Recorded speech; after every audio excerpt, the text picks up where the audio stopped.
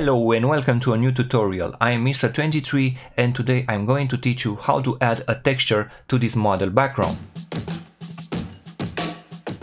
Okay, let's start the tutorial by using this uh, model and we want to add the texture as a part of the background. One of the easiest ways is to set the blending mode to soft light or to overlay depending on your texture and then you can add a mask to the texture. Take the brush tool set it to black. Be sure that the flow is around 10% and start to paint on model's face and body to hide that texture from the face and the body.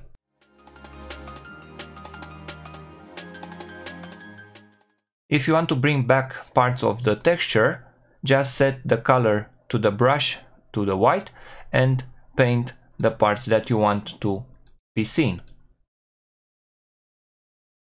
Okay, so this is one way. The only problem with this method is that it will keep the original colors of the model and it doesn't really blend that well with the background.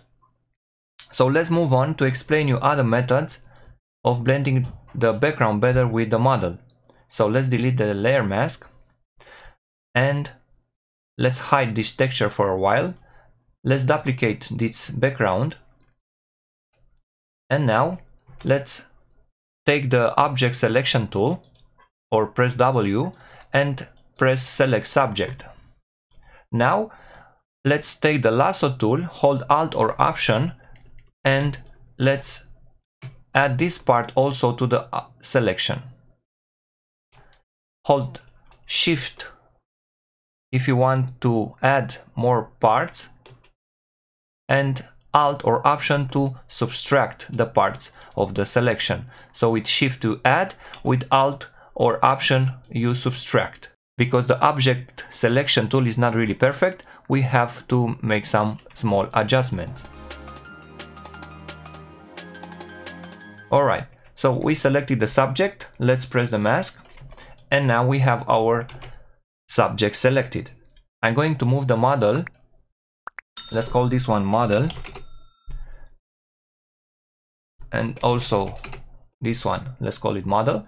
And now if you can see, we have our model on top of everything and it has the same colors as the original model. So basically we didn't do anything. Let's hide this layer.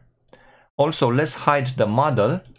And now set the blending mode to normal and take the eyedropper tool or press I and choose a color from the foreground and let's choose one which is which has some color in it. So I'm going to choose this color.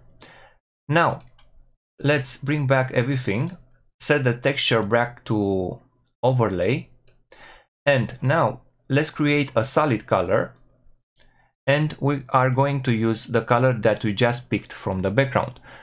Hold Alt or Option and as you can see I added that color to the model. Now let's set this color to soft light and as you can see it adds the same colors that we have in the background. Now I'm going to add a curves adjustment layer and also I'm going to add a photo filter.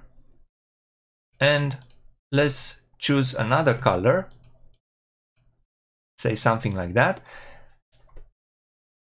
And now let's bring everything into one group. So hold shift and select all the layers. Place them in a group. So this is before and this is after if you want to do more settings to the final image, you can press Ctrl Alt Shift and I.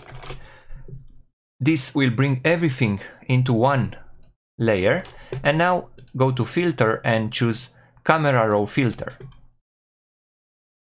We are going to play with the settings a bit.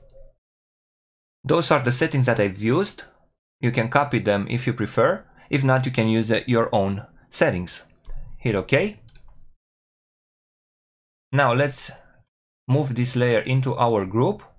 Let's hide the group. As you can see, this is the original picture and this is our result. So this is our quick tutorial for today. If you like it, please don't forget to subscribe to my channel. See you next time.